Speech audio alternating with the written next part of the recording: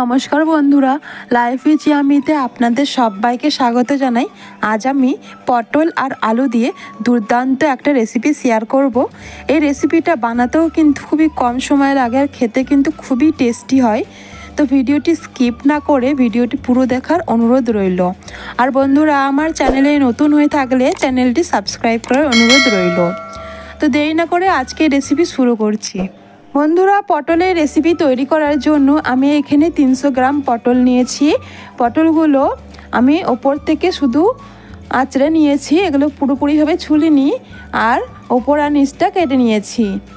এবার পটলগুলো আমি কেটে নেব। তো তার জন্য আমি এখানে একটা পটলকে দুটো ভাগ করে নিচ্ছি।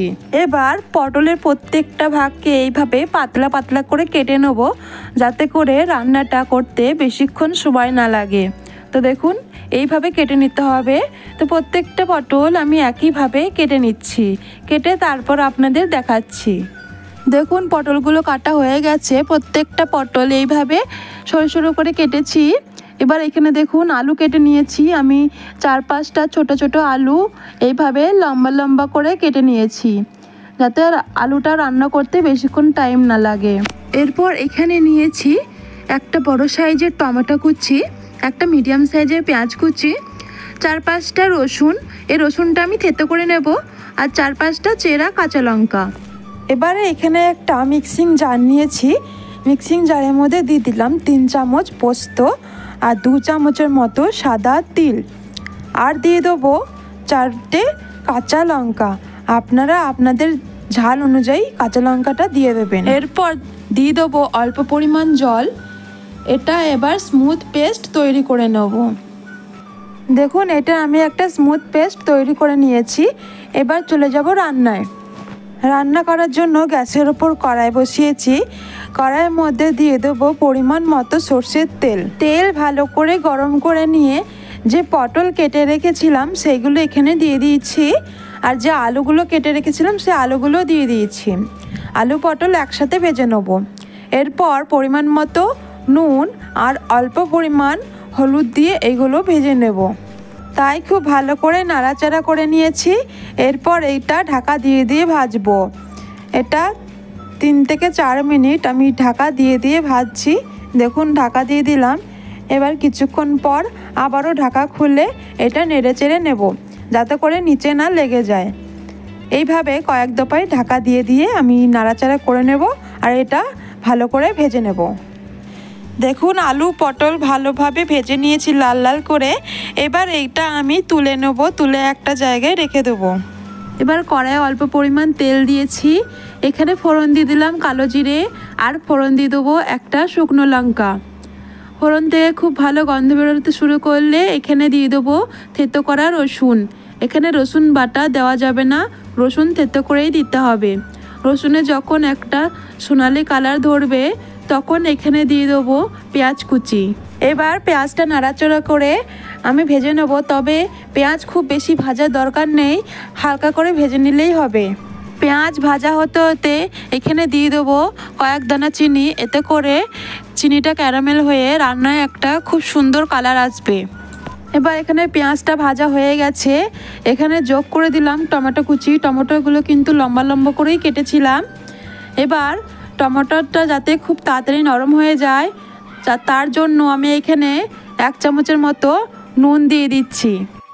এবার দেখুন, টমেটোটা নেড়েচেড়ে ভেজে নিয়েছি। টমেটো খুব ভালো মতো নরম হয়ে গেছে।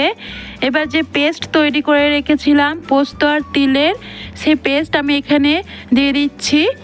আর মিক্সিটা ধুয়ে একটুখানি জল এখানে দিয়ে দিচ্ছি, যাতে করে মশলাটা নষ্ট না হয়। তো মশলাটা দিয়ে এটা নেড়েচেড়ে ভালো করে মিশিয়ে নেব। এরপর এখানে অ্যাড করে দিচ্ছি এক চামচের মতো কাশ্মীরি লঙ্কা গুঁড়ো। আপনারা এটা স্কিপ করতে পারেন। এটা দিলে রান্নায় খুব ভালো একটা কালার আসবে, তাই আমি দিয়েছি। এবারে মশলাটা বেশ কিছুটা কষিয়ে নেব। মশলাটা বেশ কিছুক্ষণ কষানো হয়ে গেছে। এবার যে আলু আর পটলগুলো আমি ভেজে রেখেছিলাম, সেটা আমি এখানে দিয়ে দিচ্ছি। এবার আলু আর পটলের সাথেও মশলাটা খুব ভালো করে কষিয়ে নেব, যাতে আলু আর পটলও মশলাটা খুব ভালোভাবে ঢুকে যায়। মশলা খুব ভালো করে কষিয়ে নিয়েছি। এবার এখানে দিয়ে দেবো জল, তবে জলের পরিমাণটা কিন্তু খুবই কম দিতে হবে, কারণ তরকারিটা কিন্তু একদমই মাখা মাখা হবে। বন্ধুরা, এই রেসিপিটা কিন্তু একদমই সহজ রেসিপি আর খুব কম সময়ের মধ্যে তৈরি হয়ে যায়। আর এই রেসিপিটা খেতেও কিন্তু দুর্দান্ত টেস্টের হয়। আপনারা অবশ্যই কিন্তু বাড়িতে একবার হলেও এই পটল আর আলু দিয়ে এই রেসিপিটা ট্রাই করবেন। আশা করছি আপনাদের অনেক ভালো লাগবে। আর ভালো লাগলে ভিডিওটিতে একটি লাইক করে দেবেন। তো মিশিয়ে নেওয়ার পর এখানে দিয়ে দিলাম দুটো চেরা কাঁচা লঙ্কা। এবার এটা ঢাকা দিয়ে দেবো চার থেকে পাঁচ মিনিটের জন্য। গ্যাসের ফ্লেম অবশ্যই কিন্তু লো করে দেবো। ফিরে এলাম পাঁচ মিনিট পর, ঢাকাটা আমি তুলে নিচ্ছি। এতক্ষণে আলু আর পটল কিন্তু খুব ভালো মতো সিদ্ধ হয়ে গেছে। এবার তরকারিটা আমি নিচ থেকে নাড়াচাড়া করে নিচ্ছি। নাড়াচাড়া করে তরকারিটা আমি খুব ভালো মতো মিশিয়ে নিচ্ছি। এবার সব শেষে অ্যাড করে দিলাম এক চামচ কাঁচা সর্ষের তেল। সর্ষের তেলটা দিয়ে খুব ভালো করে আমি মিশিয়ে নিচ্ছি।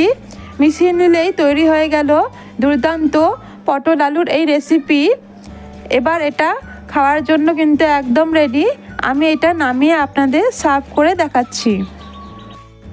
তো বন্ধুরা, এই ছিল আজকের রেসিপি আজকের রেসিপিটা কেমন লাগল অবশ্যই আপনারা কমেন্ট করে জানাবেন।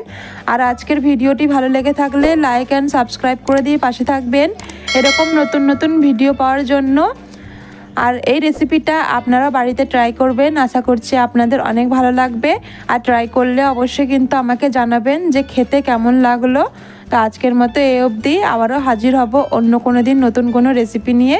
ভালো থাকবেন, সুস্থ থাকবেন। ধন্যবাদ।